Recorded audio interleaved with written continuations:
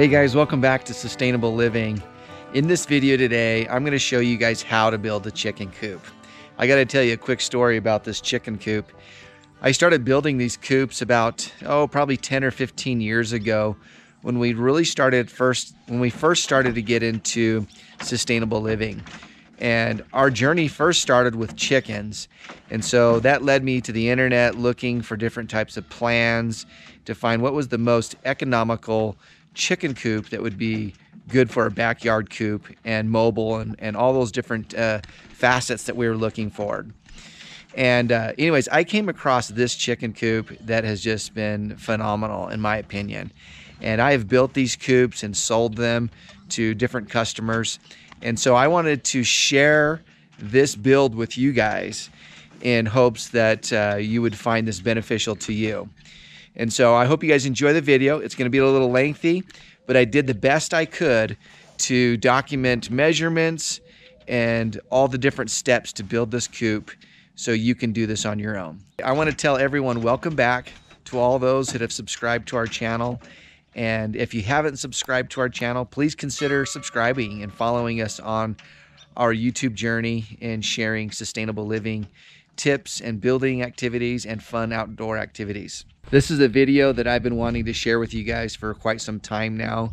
So I'm excited to share it with you guys. Before you get started though, do me a huge favor and smash that like button down below. All right, let's go over some of the materials that you're gonna need and also some of the tools you'll need to build your chicken coop. So you'll need 12 2 by 3 by 8 foot boards. I always purchase three extra boards just in case if I screw up on one of my cuts, I have plenty of lumber. Also, when you're picking your lumber, you want to make sure you find some lumber that is clean with very few knots because these boards we're going to make trim pieces. You then want to purchase three sheets of half inch plywood. Get yourself a box of two inch screws. You will also need some one inch roofing nails, some inch and a half staples, and a box of one inch staples. You will also need some half inch staples. I then purchase three bags of the two and a half inch hinges and one bag that contains an inch and a half hinge. Make sure you have some good wood glue, a roll of chicken wire. Now this is not necessary, but I go ahead and buy some caulking, some exterior paintable caulking. So when my coop is all done, I can go and caulk all my edges before I paint it, and it just gives your chicken coop a much cleaner look by caulking your edges. I'm going to go ahead and wire my chicken coop with electricity so I can plug it in if it gets really cold and I can put a light bulb, an incandescent light bulb to provide a small form of heat. So you don't have to do this, but you can if you want and I'll show you how I will wire my chicken coop for light. So you will also need one of these galvanized pancake electrical mounts for this light here. Grab yourself a small roll of tar paper, at least a five foot length of four inch sewer pipe. This is thin wall, thin wall sewer pipe. You will also need a four inch sewer cap. It's a slip on one end and then it's threaded for your cap a 45 degree angle slip on both ends. So you need a 90 degree street elbow with a male slip on the one side. All right, some of the tools that you'll need is a staple gun. The gun that I use basically shoots 18 gauged brads or 18 gauge uh, staples. A good skill saw is essential along with an air compressor, a miter saw. Now a table saw is absolutely essential. Some of the smaller tools, you'll need a speed square, measuring tape, a, uh, a straight edge knife, some chalk. You'll also need a four and a quarter inch hole saw blade. So I'm going to go ahead and get all my boards marked out and then I'm going to do all my cutting and then ripping my boards.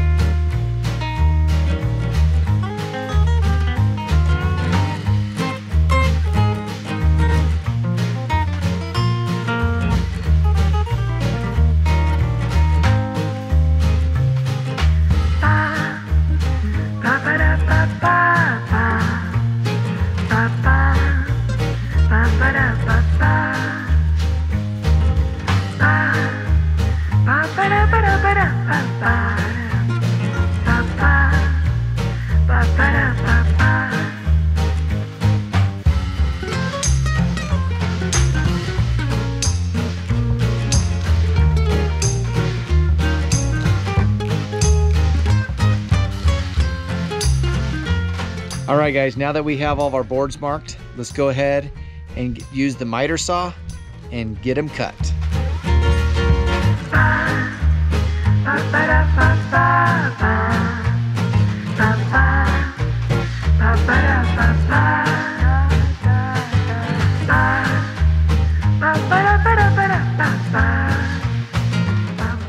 Now that we've got the boards cut, we're gonna rip all of the boards except for the 47 inchers with the 22 and a half degree angle cut and the 12 inch boards.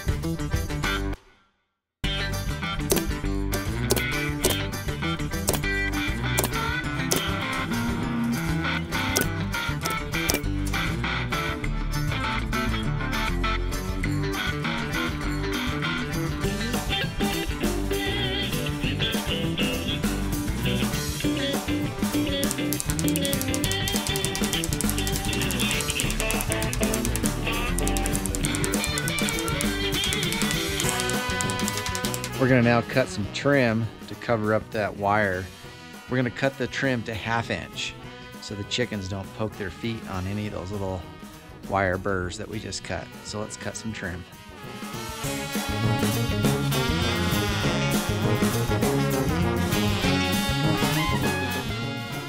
All right, when you're done with one two by three, you'll end up with three pieces of trim one square edge and then two with rounded edges because they were the uh, outside edges. These are half inch, save these, we'll use those for the build later. This piece right here, you're gonna end up with a one inch piece of trim. We're gonna save this because we're gonna use this board to build the face of our chicken coop when we put our chicken screen up.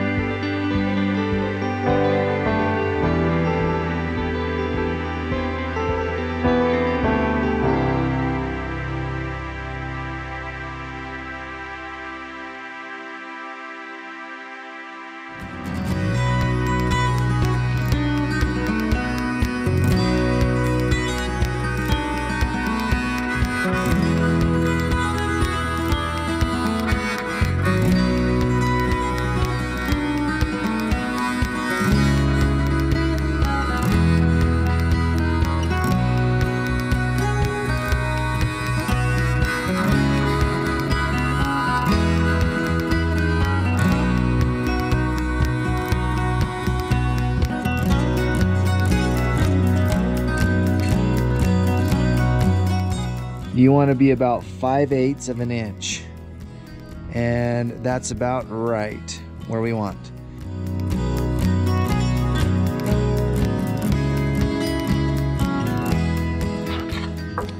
So what we did was we went ahead and fastened the roof to the top, glued it as you saw, but we went ahead and gave ourselves a half inch overlay on this side.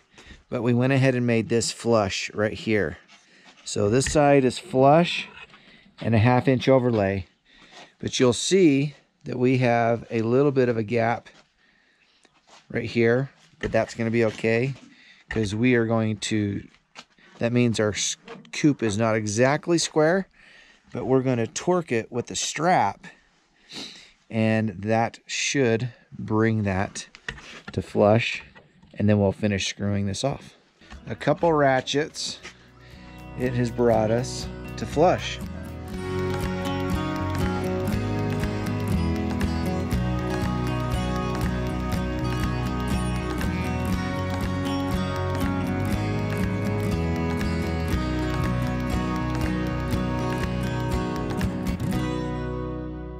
These were the 16 inches by 40 inch, 48 inches in length. We're gonna want to cut out a notch so we can basically slide it up onto the side bottom panel. So we wanna go an inch and a half down and then we wanna go over an inch and a quarter. And then mark our little square. There we go. Be sure to cut the face of the board that you want to be showing so you do not end up with cut lines on your boards. You only have to make that mistake once before you'll remember to cut your boards face side up. So 48 on this side and then 47 and 5 eighths on this side. And then you're basically going to be making your nesting boxes. So you're going to have two 3 inch pieces, two nine and a half inch pieces, and then two 11 inch pieces. And then that'll make up your 47 and 5 eighths lengths. On this other side, you're going to have a back panel that's going to be 10 inches and 3 quarters, two of those. And then you're going to have the top of the nesting box, the top of the nesting panel, which is going to be 12 inches, and you need two of those. Cut three boards that were 10 inches wide. Okay. And they were in the length of 47 inches, 47 and three quarters of an inch. So what I did is basically um, I stacked those three boards together and then I just cut them exactly in half. And, uh, and then I just stacked these three together and then we're going to rip these at an angle in order to give us our nesting box sides to build our boxes. This corner, it went up to 14 inches. And then to this corner, we went to nine and three quarters. And then that'll give you the slope that you need for your nesting boxes.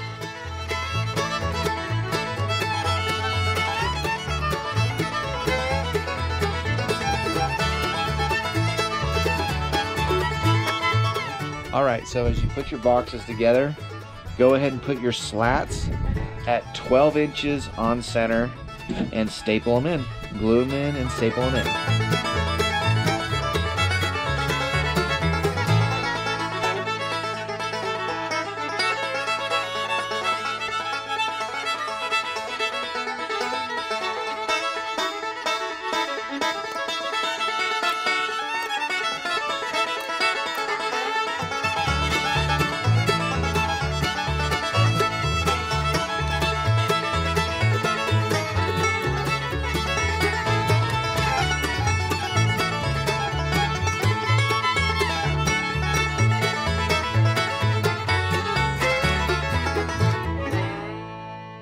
Build your frames, these are going to be a 45 degree. I'll give you the measurements here. So this bottom piece is, a, is 11 inches. And make sure you cut it at 45 at the bottom. And obviously this is a 45.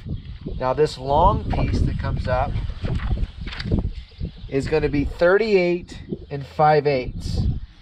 And these angles up here are gonna be cut at 23 degrees. So you got 23 degrees there and then 23 degrees there, okay? And then this piece right here, this length right here is going to be eight and three quarters. And then coming over here, we've got another 23 degrees, 23 degrees. And then this full length coming down on this shorter side, coming into a 45, is going to be 34 inches, 34 and a half inches. That's what this is going to be right here. It is pretty imperative to use clamps to hold these frames together. It'll really help you in pre-drilling and screwing your frames together and gluing them together. Your frames will come out much straighter if you'll use this simple tip by using the clamps. From the panels that you cut that were 10 and 3 quarters, you're to cut, that's to be used for your back panel. So one of the measurements is going to be 34 and 3 eighths on your short side. And then your long side is going to be 38 and 5 eighths and that'll give you the angle that will match to the roof. So these 40 inch boards that you cut you're going to want to cut one of your ends at 23 degrees. And then that will be the next piece that will go across by your panel. And you'll screw that in and you'll do the same on this other side? At some point in this video you're probably thinking holy crud there's a lot of tools and a lot of equipment and you're probably wondering am i really going to save that much money by building my own coop that's what i thought when i first started this but after i bought my equipment and then i sold a few of these coop, coops i was able to get all my money back. So that is one thing you may consider if you don't have any tools to do this job is to build a few sell a few and get your money back and then go from there plus your second or third coop will end up being better than your first coop now we don't have an absolute perfect fit towards the top up here, but that's okay because what we will do is we'll put a paintable caulk before we paint and we'll fill up any small gaps that we have and then it'll turn out really nice when we paint it.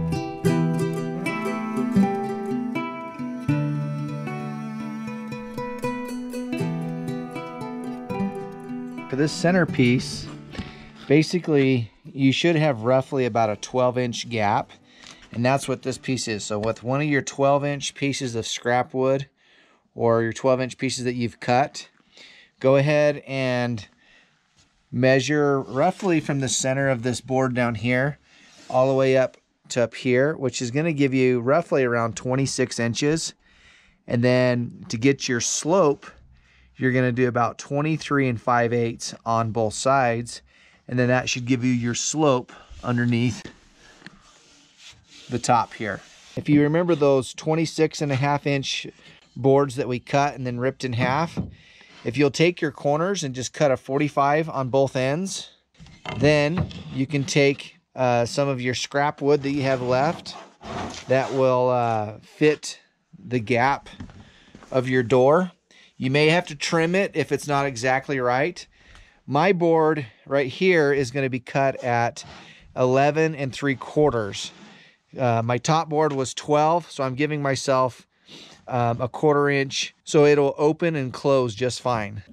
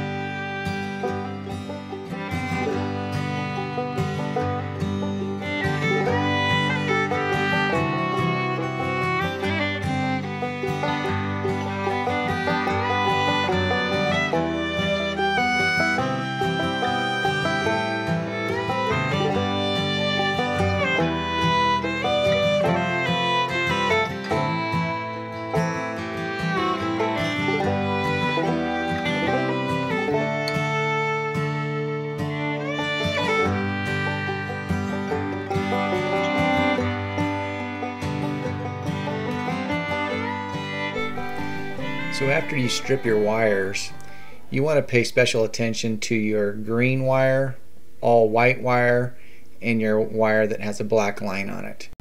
After you've drilled your hole and fed your wire through the hole, you're going to take the wire that has the black line on it and go ahead and feed that onto your copper or brass screw and tighten that down. Then you want to take your white line and go ahead and make a hook on that and hook that around the silver end. Then you'll have one line left with a green line on it and you will hook that to the base plate of the electrical outlet and screw that in. Now you can fasten the porcelain outlet.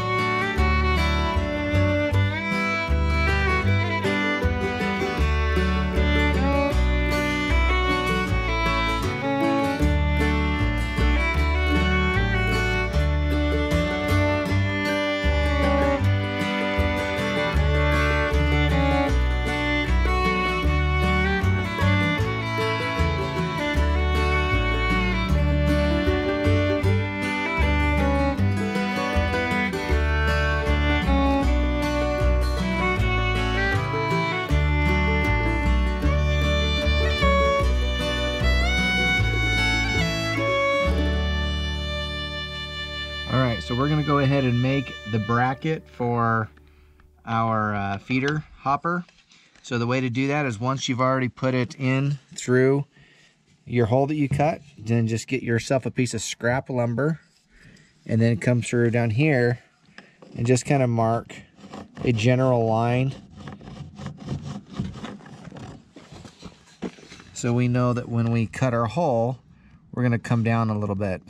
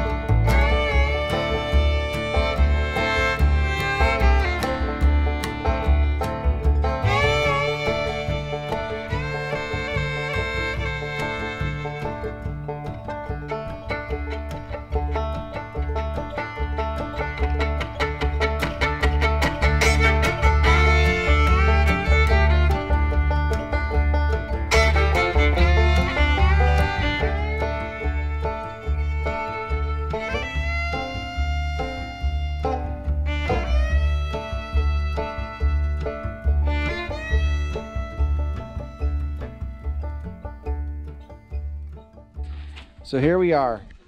We've got the, uh, here's the plank that goes up into the chicken coop. We have a latch that will latch the door shut. As you can tell, we put shingles on it.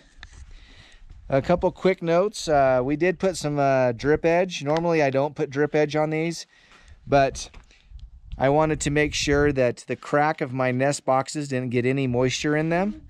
So the drip edge will help with that. And part of the way, um, you saw it in the video, but I didn't really describe it. When you cut your trim for this trim piece that goes uh, underneath this, you want to make sure you cut that at 23 degrees of an angle. And then that'll give you a flat surface for that drip edge to go against. And then that'll give you just a little more lip for that water to drip down. But as you can see, here's our nesting boxes. It's four on one side and then four on the other. One of the key features though, when you put your coop in, you want to make sure that you see these two screws that we put in the side of this nesting box. You want to make sure that uh, you don't staple your box to your frame. The reason why you put screws in it is so you can undo the screws on that side and then do the screws on this side if you need to take your nesting box out and do any repairs or anything like that. There's the roosting bar that goes clear to the other side that we cut the little angles to make it a little more rounded. Same on this other side. We went ahead and used a feeder. Our feeder is going to be a four inch sewer pipe with a 45 degree angle. I'll show you the back. We went ahead and wired it for lights. So if it gets super cold or we need to add electricity out here so they keep laying, keep the lights on so they'll keep laying. Now, I didn't glue any of my pieces together. The purpose for that is in the event if we ever did get any moisture down into this tube and I wanted to clean it out, then I can pull it apart, clean out the stuff that's got all jammed up and be able to be back in business. We got a good mesh so when they go to the bathroom it'll go completely through. The nice thing about this coop is that the, the fecal matter will go clear to the bottom and it makes it easy to clean out and rake underneath the coop and use it where you want it. Now this back door, we'll put a latch on it but for now, I don't have one yet. We'll just push it up like that. This is just going to be an access door if we need to access the feeder and fix the feeder or anything like that. Just gives us an access door to the coop. You can actually put a piece of wood right here and then you can put a watering can right here and if you wanted to you could put an automatic dog water and drill a hole and put one throughout the wall. But we're going to put our watering can out in the yard because our animals are going to be free range. So we decided not to put one of those pieces of wood right here. And if you do that, you're going to need to put another piece of wood up here so they don't poop in their water. So it protects it. But I didn't do any of that because, like I said, we're going to water our animals in the yard. So guys, that is the complete build of the coop. Thank my wife for helping and all my kids. And it's been a fun build and this coop is gonna last us many, many years. Just wanted to tell you a quick story. This chicken coop is a coop that we've been building for years, probably 15 years now. I used to sell them and uh, I found that a lot of people don't appreciate the craftsmanship of the coop. So I'm providing it to you guys in hopes that you'll share it and build it and uh, get this information out. If you have any questions, please leave them in the comments below. And remember, if you liked this video, please, please, please hit that thumbs up button. It really helps us in getting our information out there. We'll check you on the next video.